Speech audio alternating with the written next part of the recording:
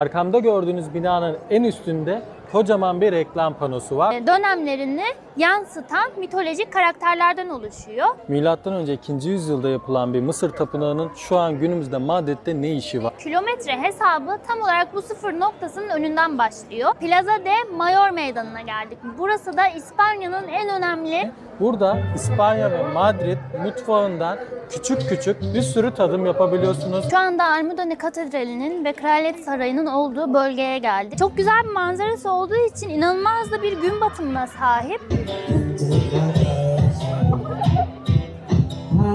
Hola, herkese merhaba. Ben Müşra kanalıma hoş geldiniz. Bugün sizlerle 5 önemli meydana gideceğiz ve sizlere buraların hikayelerini ve neden önemli olduklarını anlatmaya çalışacağız. Bunlardan bir tanesi de şu anda bulunduğumuz Puerta de Sol Meydanı. Ee, Burası hakkında size birazcık bilgiler vereceğim. Önemli heykeller ve önemli yapılar var. Bunlardan birazcık bahsedeceğim. Sonra diğer meydanlara doğru yol almaya başlayacağım. Abone olmayı, beğenmeyi ve yorum yapmayı unutmayın. Haydi videomuza başlayalım.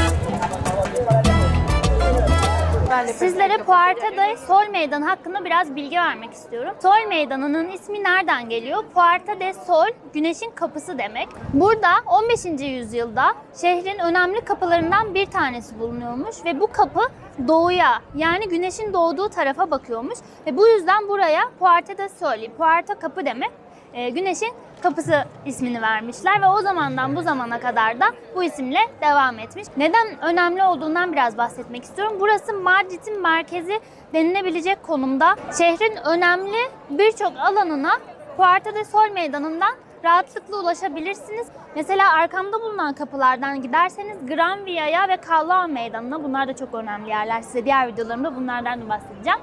Gran Via'ya ve Callao Meydanı'na çıkıyorsunuz. Hemen sağ tarafımdaki e, sokaklardan Kraliyet Sarayı'na ve Plaza Mayor'a bunlar da önemli meydanlar. Hemen Ali'nin yani kameranın arkasındaki sokaklarda daha önce de videosunu çektiğimiz Plaza de Santana Meydanı'na ulaşıyorsunuz. Bu taraftan da Plaza de Cibeles ve Sevilla meydanlarına ulaşabiliyorsunuz. Yani burası Madrid'de gidebileceğiniz bütün önemli konumların merkezi gezmeye buradan başlayabilirsiniz diyorum. Hadi birazcık önemli e, heykellere ve yapılara biraz göz atalım. Ayı ve koca yemiş ağacının önündeyiz. Bu meydandaki önemli heykellerden, önemli sembollerden bir tanesi. Madrid'in armasında ve logosunda bulunan bir aslında görsel bu. 13. yüzyılda, Orta Çağ'da Başpiskoposluk ve Madrid hükümeti arasında bir anlaşmazlık yaşanıyor. Nedir bu anlaşmazlık? Madrid'in çevresinde bulunan bazı tarım alanları, e, avcılık yapılan bazı bölgelerle ilgili iki tarafta bu tarlalara sahip olmak istiyor. Bunun sonucunda tarım arazileri Madrid hükümetine ve avcılık yapılan hayvancılıkla ilgili olan bölümler ise başpiskoposluğa kalıyor. Şehrin simgesi haline getirmek istiyorlar ve şehrin simgesi olarak kullanılıyor. Madrid bir dağ şehri. Yani çevresi ormanla ve dağlarla çevrili. Madrid bir dağ şehri olduğu için çevresel yapısına dikkat çekmek amacıyla çok uzun yıllardır bu kullanılan bir heykel. Aslında küçük bir heykel. Çok turistik, herkes önünde fotoğraf çektiriyor. O zaman hadi birazcık yakından bakalım. İnsanlar ayının yanında fotoğraf çekilmek için sıraya giriyorlar. Şu anda görebiliyor musunuz bilmiyorum biraz ters ışık oldu ama ayının poposu ve ayağı dokunduğunuzda şans getirildiğine inanıldığı için insanlar oraya zıplayıp poposuna ve ayağına dokunmaya çalışıyorlar.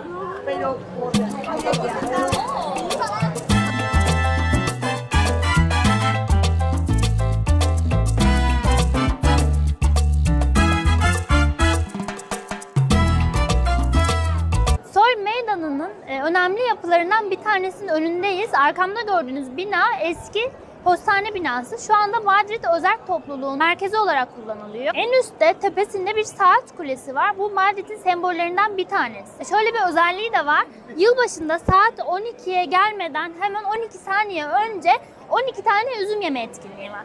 12'ye 12 saniye kala her bir saniyede çan çalıyor. 12 tane üzümü bitirmek zorundasınız.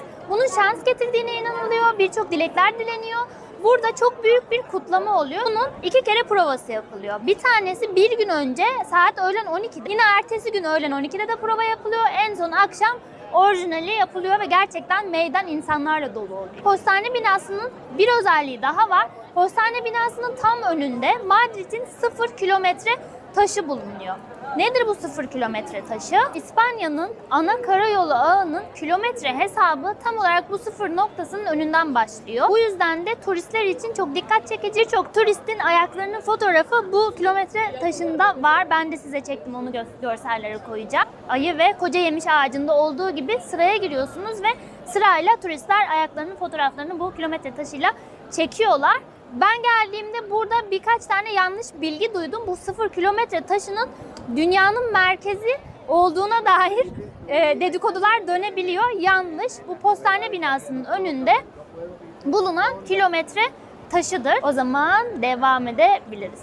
Arkadaşlar şimdi benim çok hoşuma giden bir detayı vereceğim meydanla ilgili. Şöyle ki arkamda gördüğünüz binanın en üstünde kocaman bir reklam panosu var. Bu neon ışıklarla gece aydınlatılıyor.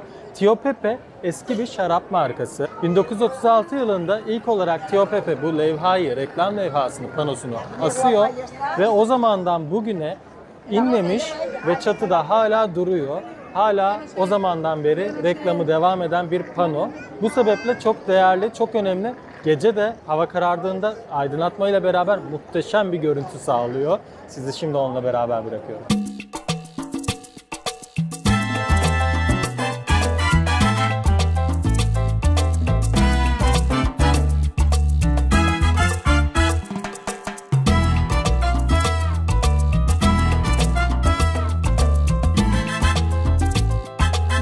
İkonik olan heykelden bahsetmek istiyorum size. 1760'lı yıllarda tahta geçen 3.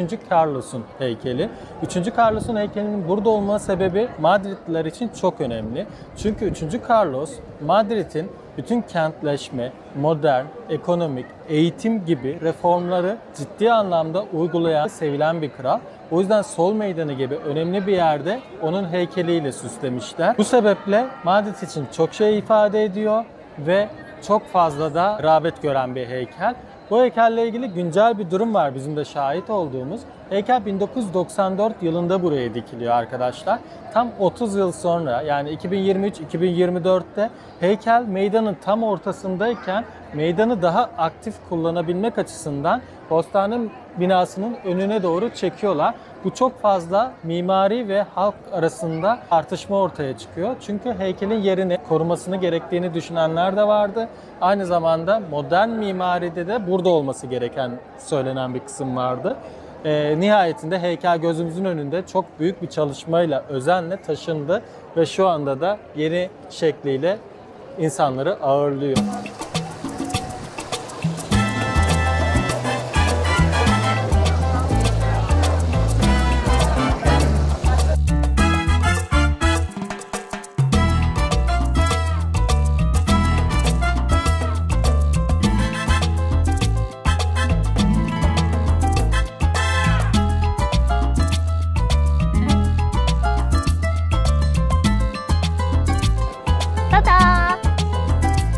Plaza de Mayor Meydanı'na geldik. Burası da İspanya'nın en önemli ve benim de en çok sevdiğim meydanlardan bir tanesi. Puerta de Sol Meydanı'na yakın, birçok önemli e, merkeze yakın hem de aynı zamanda izole gibi de duran çok güzel, çok turistik meydanlardan birindeyiz. Döneminde burada askeri geçit törenleri düzenlenmiş, boğa güreşleri yapılmış, idamlara ev sahipliği yapmış. Şu anda günümüzde ise işte çeşitli etkinlikler, konserler ve Noel pazarı burada kuruluyor.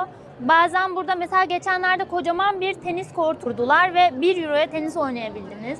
Bazen şehir defileleri burada yapılıyor. Dediğim gibi birçok etkinliğe, festivale ev sahipliği yapan çok büyük bir meydan. Bir sürü kemerle çevrili ve kemerlerin altında hem restoranlar hem de dükkanlar bulunuyor. Çoğu da butik dükkanlar, hediyelikçiler var, işte ne bileyim ayakkabıcılar, çantacılar gibi dükkanlar var. Onun dışında da restoranlar var. Gibi teras dedikleri bizdeki bahçe alanlarında oturup keyif de yapabilirsiniz. Ama size e, önemli bir not geçmek istiyorum. Burası yani buranın kapılarından bir tanesi La Latina bölgesinde ünlü olan e, Kavabaha Caddesi'ne çıkıyor. Orada tapas restoranları, tapas barları çok daha uygun fiyatlı. Aynı zamanda bir tık daha buranın lezzetinin üstünde yakın olduğu için söylüyorum. Burada yemektense bütçeniz daha uygun bir şeyler yemeye daha elverişliyse oralarda yemek yiyebilirsiniz. Ama burada yemek istiyorsanız buradaki restoranlarda da keyif yapıp Mayor'un tadını çıkartabilirsiniz diyorum. Mayor'da 9 tane önemli büyük kapı bulunuyor. Bu kapıların her biri farklı mahallelere açılıyor. Bazı mahallelere kestirme gidebileceğiniz meydanlardan biri. Şimdi de arkamda Casalla de Panaderia var yani fırın evi. E, adının fırının evi olduğuna bakmayın. Bu simgesel bir isim. Aslında burası bir fırın ya da daha önce fırın olarak kullanılmış bir alan değil. Önemli olması nedenlerinden bir tanesi binanın dış yapısında mimarın üzerine yaptığı fresklerin sonucu. Fresklerden dolayı burası ünlü ve dikkat çeken bir alan. Bu freskler Mardit'in önemli hikayelerini, önemli e, dönemlerini yansıtan mitolojik karakterlerden oluşuyor. Dışı gerçekten çok etkileyici ve görsel harika diyebilirim.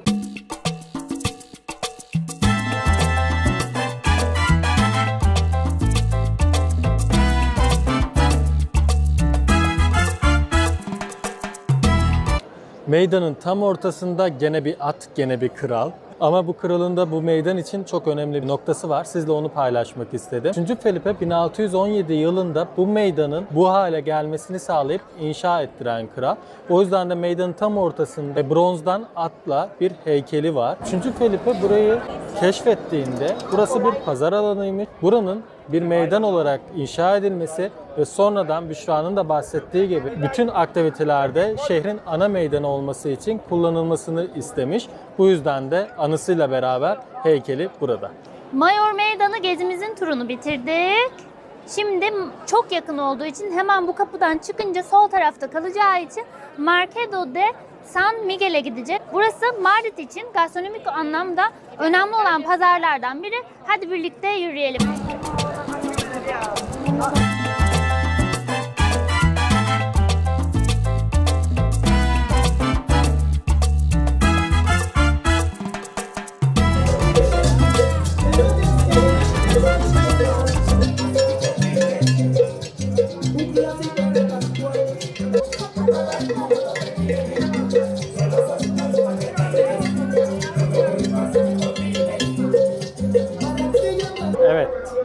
Mercado de San Miguel'in önüne geldik. İspanya geleneğinde gastronomi pazarları çok meşhurdur.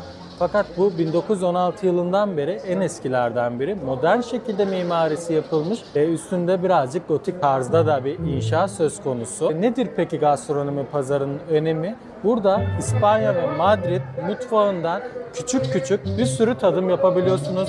İçeride şarabından peyniri, deniz ürününden et ürününe, meyvesi, tapası, bütün hepsinden küçük küçük alıp böyle ayakta, manuel, kaldırımda, yolda yiyerek tadım yapabiliyor. Ve içerisi o yüzden tam bir şenlik. Gastronomi sevenlere müthiş bir öneridir. Tabii ki her güzel şeyin bir sonucu var. Bu kadar merkezde, bu kadar güzel bir gastronomi pazarının fiyatları da birazcık pahalı ve tuzlu. Yani normal bir restoranda yediğiniz tapaslara göre daha pahalı ama daha fazla çeşidi küçük bir alanda bulabiliyorsunuz. Biz buranın daha detaylı, buraya özel hem tadım yaptığımız hem eğlendiğimiz ayrı bir videosunu yapacağız. Ama şimdi keşif yolumuzun üstündeyken size de gösterelim istedik.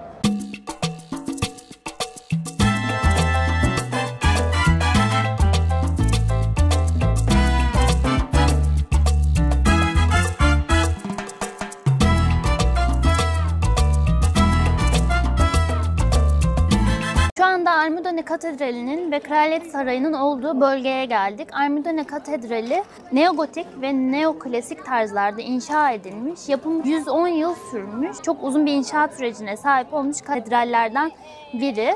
Kraliyet Sarayı'nın karşısında bulunduğu için kraliyet törenlerinin ve kraliyet düğünlerinin yapıldığı bir katedral. Katedralin içerisi çok yüksek tavanlara sahip çok görkemli bir yapı. Ama biz bugün içerisine girmeyeceğiz. İçerisine girmek ücretsiz. Ücretsiz bir şekilde girebilirsiniz ama içerisine ön taraftan yani bu kapıdan değil yan taraftan giriliyor. Geldiğinizde katedrali kapalı zannedip girmemezlik yapmayın. Yan tarafına giderseniz e, girişini bulacaksınız zaten. Almudena Katedrali'ne arkamızı döndük. Yani ben önümü döndüm. E, tam arkamda Madrid Kraliyet Sarayı bulunuyor. Madrid Kraliyet Sarayı Avrupa'nın en büyük saraylarından bir tanesi. Çok güzel bahçelere sahip. Bazı yani bahçelerin bazı alanları ücretli, bazı alanları ise halka açık rahatlıkla gezebiliyorsunuz. Onun dışında sarayın içi inanılmaz görkemli, çok süslü, aşırı gösterişli bir saray. Şöyle bir not geçmek istiyorum. Biletini almak istiyorsanız plansız davranmamanız gerekiyor. İnternette biletinizi bir hafta önceden ya da belki bir buçuk iki hafta önceden kapatmanız gerekiyor. Çünkü biletler çok hızlı tükenebiliyor.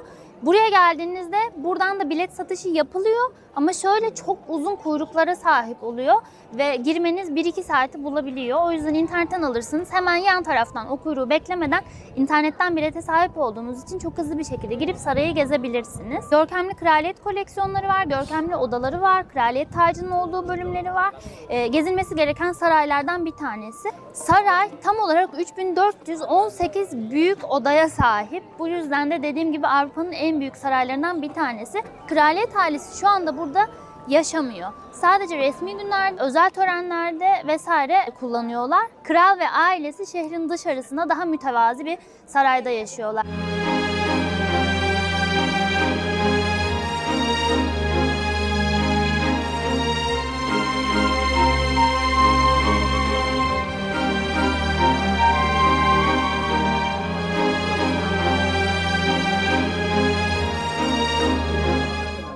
Madrid tepelerin üstünde kurulan bir şehir olduğu için, dağ şehri olduğu için çok güzel manzaralar sunuyor. Kraliyet Sarayı ve katedralin de hemen yanında bu teras alanında baktığınızda hem şehri hem Madrid'in etrafındaki ormanı direkt görebiliyorsunuz. Gerçekten çok güzel bir manzara sunuyor size. Mısır'a ışınlandık arkadaşlar. Nasıl mı oldu? Hadi ondan bahsedelim. Madrid'de görülmesi gereken en önemli ve ayrıca UNESCO Dünya Miraslar listesinde olan bir yerdeyiz. Debot Tapınağı'ndayız. Milattan önce 2. yüzyılda aslında Mısır'da inşa edilen ve Mısır mimarisine ait olan bir tapınak. Milattan önce 2. yüzyılda yapılan bir Mısır tapınağının şu an günümüzde Madrid'de ne işi var? Mısır hükümeti Asvan Barajı'nın yapımında belirli bölgelerin su altında kalacağını söyleyerek dünyaya bir çağrı yapıyor ve bazı mirasların kurtarılmasını istiyor. İspanya buna cevap veren hükümetlerden biri oluyor. Bu sebeple yardım karşılığında Depot Tapınağı Mısır tarafından İspanya'ya hediye ediliyor ve 1960 yılında tapınak olduğu gibi sökülerek bu bölgeye inşa ediliyor ve artık Madrid'in bir Mısır tapınağı oluyor. İçerisinde dua odası ve önemli eserlerin sergilendiği bir alan var. Tabii ki küçük, içi ziyaret edilebiliyor, girilebiliyor. Biz henüz girmedik. Fakat içerisi ziyarete açık. Bunu bilmenizi isterim. Diğer bir özelliği de bu alanın Madrid'in en yüksek tepelerinden birine kurulduğu için çok güzel bir şehir manzarası var ve parkla çevrili etrafı dinlenmek için, keyif yapmak için çok fazla ziyarete açık. Hadi birazcık güzelliklere bakalım birlikte. Dabot Tapınağı'nın oradayız. Parkta yürüyoruz. Şehir manzarasını görmek için parkın seyir alanı kısmına doğru gidiyoruz. Burada çok güzel bir ortam var. Size hemen ortamı da çekmek istiyorum. Ee, çok güzel bir manzarası olduğu için inanılmaz da bir gün batımına sahip. Ee, hem orman manzarası hem de gün batımı manzarası var. O yüzden Madridliler, İspanyollar ya da turistler buraya geliyorlar. Burada çimlerin üzerinde oturup akşam güneşinin, manzaranın tadını çıkartıyorlar. İçeceklerini alıyorlar, yiyeceklerini alıyorlar ve burada keyif yapıyorlar. Pilates yapanlar oluyor, müzik çalanlar oluyor, kitap okuyanlar oluyor. Sosyalleşilen çok güzel de bir ortamı var bu tepenin. Şu an saatin 9.30 olduğu detayını da vermek istiyorum. Çünkü yüzümüze çok güzel bir gün batımı güneşi vuruyor. Müthiş bir manzara gerçekten. Evet yazları Madrid'de güneş 10 gibi batıyor. Şu anda da saat 9.30. Size hemen parkı ve manzarayı da göstereyim.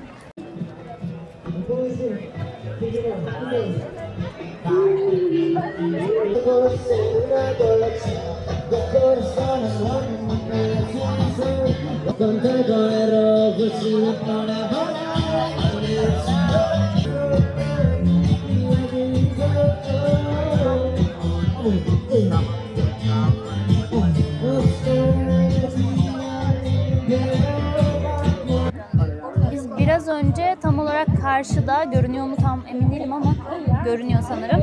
Tam karşıda Almidone Katedrali ve saray var. Ee, biraz önce oradaydık. Şu anda da Dabot Tapınağı'na geldik. Buradan manzaradan katedralin ve sarayın keyfini çıkartabiliyorsunuz.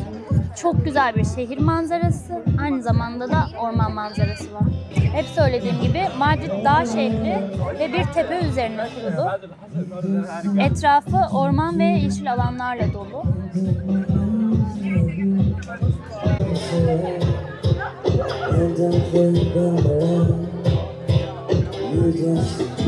You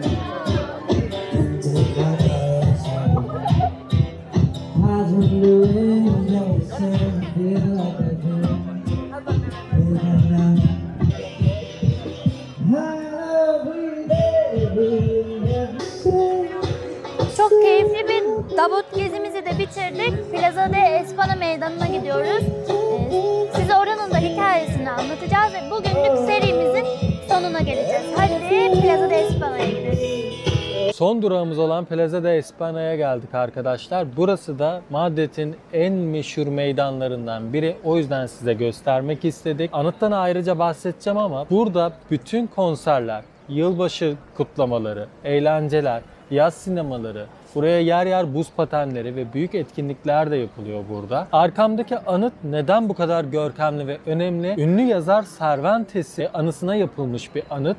Çok güzel bir heykeli var ve önünde de en önemli eseri olan Don Quixote'dan Don Quixote ve yardımcısı Sancho Panza'nın çok tatlı bronzdan heykelleri var. Herkes buraya mutlaka uğruyor bu sebeple. Cervantes zaten Madrid'de çok ünlü. Evi var, caddesi var, yürüdüğü yerler var. Her yerde Cervantes'in esintisini görebiliyorsunuz.